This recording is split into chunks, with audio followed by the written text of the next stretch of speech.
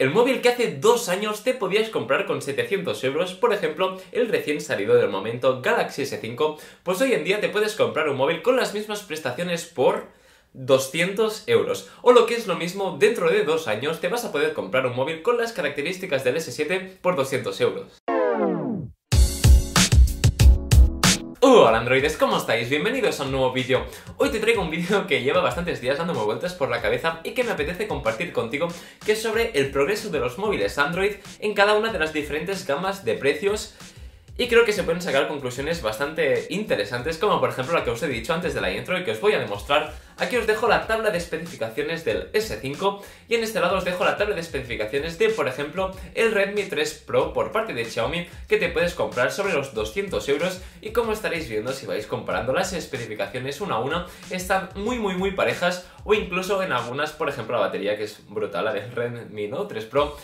pues están en el mismo nivel tanto de hardware como de software, es decir, en experiencia de usuario funcionan igual y es bastante heavy como tras eh, dos años, que es prácticamente nada, bajan hacia casi la cuarta parte de precio. Esto tampoco es que sea algo extremadamente sorprendente, es decir, esto pasa en todos los sectores donde se puede comprar algo. Por ejemplo, si ahora Mercedes saca un coche de 50.000 euros, pues es simplemente cuestión de tiempo que las nuevas tecnologías implementadas lleguen a los coches más económicos, que en el caso de los coches son bastantes, bastantes años, pero en el caso de los móviles son solamente dos años. Y ojo, porque vamos un poco más allá, tras tres años te puedes comprar lo que hace tres años era un Gama Pro por 130 euros. Aquí os dejo la tabla de especificaciones del S4 que salió justo hace 3 años y aquí te dejo las especificaciones del UmiTouch que es el que ahora mismo estoy analizando y, poco, y dentro de poco te traeré la review, aunque tengo que decir que este es un rango de precio ahora mismo que está muy muy muy competido. Y cuando ahora he puesto dos ejemplos de móviles chinos, no solo pasa con los chinos donde se ve más la diferencia, sobre todo yo tras haberlos probado, sino también otras marcas donde van más a la calidad-precio como Motorola o BQ que están haciendo las cosas muy bien, también se nota muchísimo este progreso. Y ahora vamos a ver lo que está ocurriendo hoy en día con las gamas altas, con las gamas más pros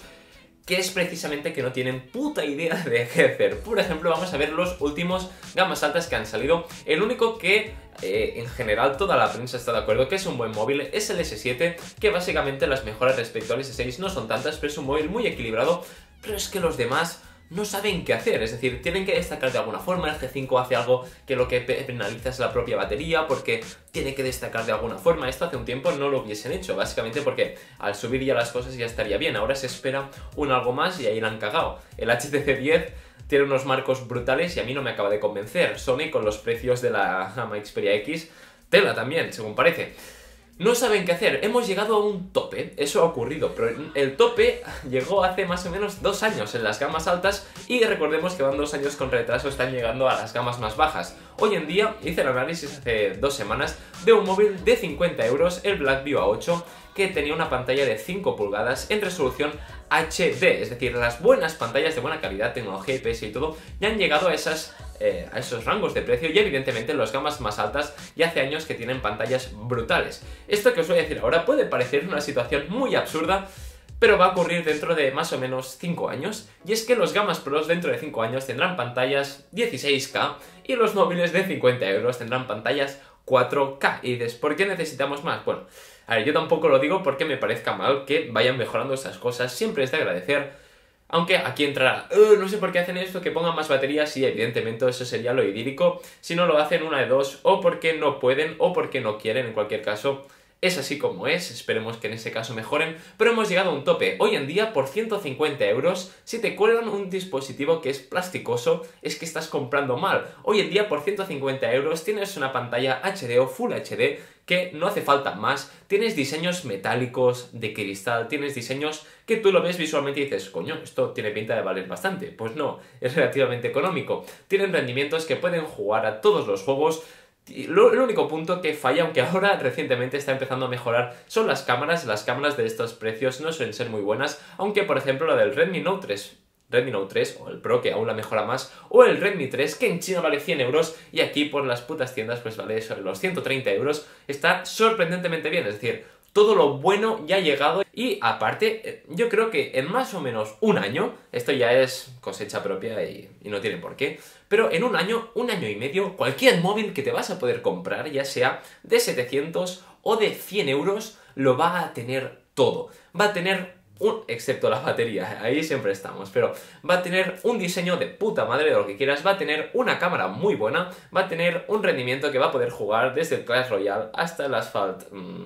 9 mm, o el que haya en ese momento, que básicamente va a tenerlo todo, no le va a faltar nada, va a tener sensor de huellas dactilar, ocular si está en el momento. Con lo cual, realmente es un punto bastante curioso porque ¿por qué gastar más? ¿no? Esto es lo típico y realmente esto es cuestión personal, yo creo sinceramente que esto es lo que va a ocurrir. Y llegado a este punto será más lo que tendrá que empujar el carro, va a ser más el software o me gustaría que lo fuese más que el hardware, porque el hardware, vale, hace 3 años, 4 años, las pantallas se veían mal, las cámaras no eran del todo buenas, pero es que hoy en día ya cualquier móvil que te lo puedas comprar ya tiene esas cosas totalmente corregidas con lo cual estamos en este limbo, ¿no? Dentro de poco llegaremos, ahora mismo con 200 euros tienes un móvil brutal y dentro de un año con 100 euros seguramente o poco más vas a tener un móvil brutal. Así que androides, déjame en los comentarios cuál es tu opinión sobre todo este tema, hacia dónde creéis que vamos, qué cosas por software es muy fácil decir, vale, es que el software está poco optimizado, realmente he llegado a un punto donde los móviles van a tener 8 de RAM, procesadores de 3 GHz, 16 núcleos. La optimización es importante, pero básicamente con eso se va a poder mover todo. Y la cuestión es qué funcionalidades le faltan o qué cosas de diseños nos cuadran. Es muy difícil pensarlo, es decir, si no ya lo hubiesen hecho. O quizás no, no sé. Así que nada, androides, espero que os haya gustado el vídeo y como siempre no olviden darle un buen like para ayudar a la comunidad pro Android a seguir creciendo día tras día. Hasta la próxima, androides.